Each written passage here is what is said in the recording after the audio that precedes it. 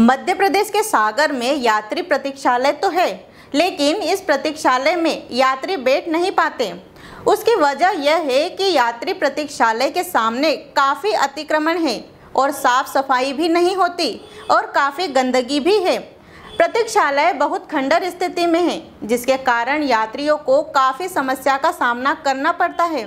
राहतगढ़ से सलमान कुरैशी की रिपोर्ट। सब आप चिंता हमारे यहाँ देखने आए, सुनने आए। हम लोग बहुत परेशानी में चल रहे हैं। स्थिति बहुत गंभीर है बारिश से भी है, कुछ यहाँ अतिक्रमण से भी है। जगह नहीं है बैठने उठने का, शला है, पर उसमें बैठने के लिए कोई जगह नहीं, सुविधा नहीं है।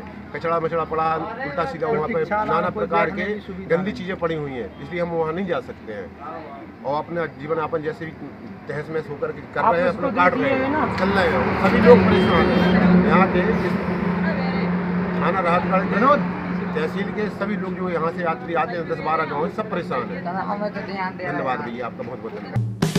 हेलो फ्रेंड्स आप देख रहे हैं हमारा channel S W twenty four news हमारे सारे वीडियो सबसे पहले देखने के लिए आप हमारे चैनल को सब्सक्राइब करें और पास में लगे बेल आइकन को दबाना बिल्कुल भी ना भूलें।